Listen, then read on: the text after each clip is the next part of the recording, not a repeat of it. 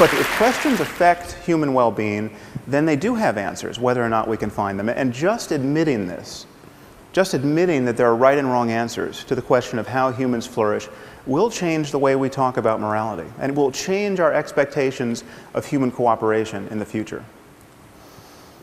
And for instance, there are 21 states in our country where corporal punishment in the classroom is legal, where it is legal for a teacher to beat a child with a wooden board hard, raising large bruises and blisters and even breaking the skin. And hundreds of thousands of children, incidentally, are subjected to this every year. The locations of these enlightened districts, I think, will fail to surprise you. We're not talking about Connecticut. And the rationale for this behavior is explicitly religious. The, creator of the universe himself has told us not to spare the rod lest we spoil the child.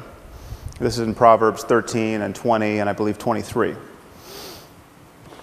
But we can ask the obvious question okay, is, is it a good idea, generally speaking, to subject children to pain and violence and public humiliation as a way of encouraging healthy emotional development and, and good behavior? Okay, is there any doubt that this question has an answer and that it matters? Now, many of you might worry that the notion of well being is truly undefined and seemingly perpetually open to be reconstrued. And so, then, how, therefore, can there be a, an objective uh, notion of well being? Well, consider by analogy uh, the concept of physical health. I mean, the, the, concept of physical health is undefined, as we just heard from Michael Specter. It, we, it has changed over the years.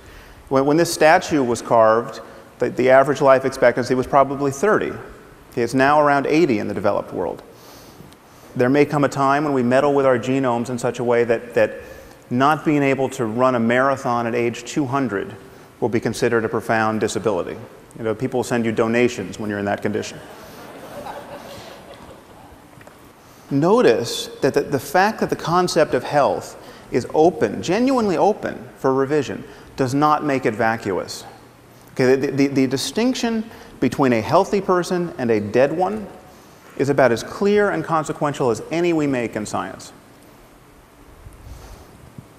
Now, another thing to notice is there may be many peaks on the moral landscape. There may be equivalent ways to thrive.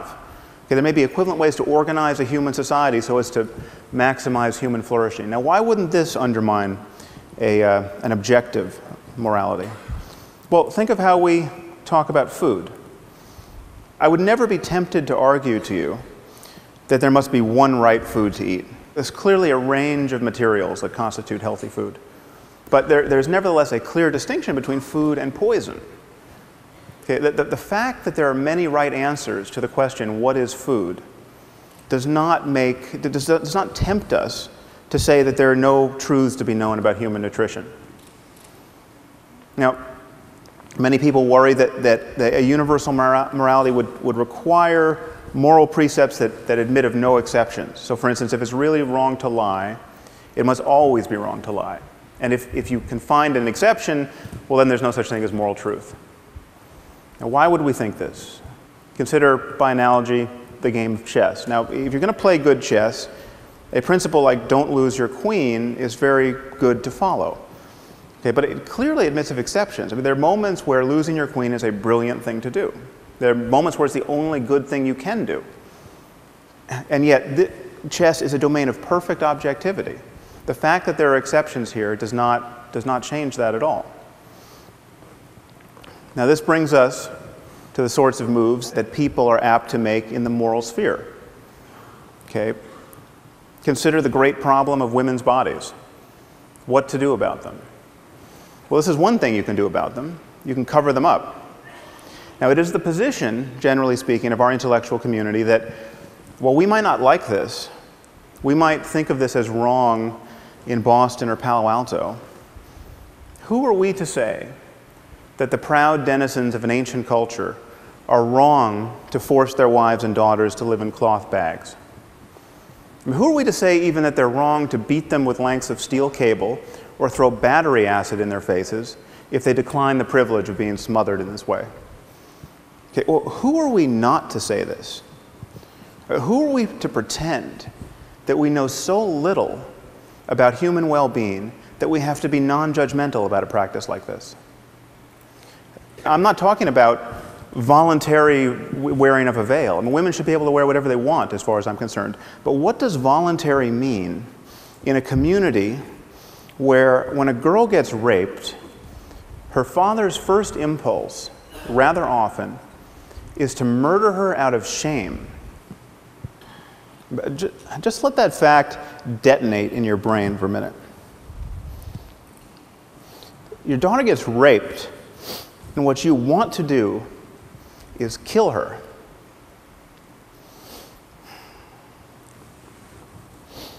What, what are the chances that represents a peak of human flourishing?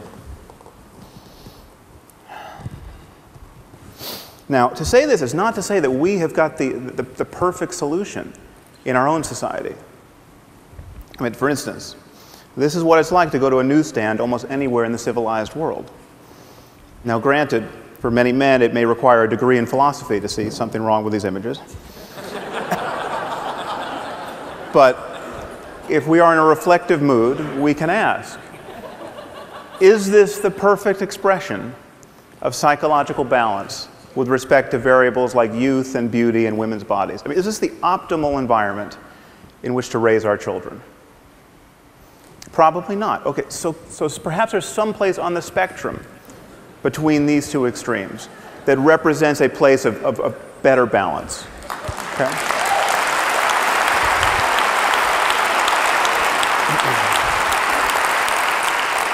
But perhaps, perhaps there are many such places. I mean, again, given other changes in human culture, there may be many peaks on the moral landscape.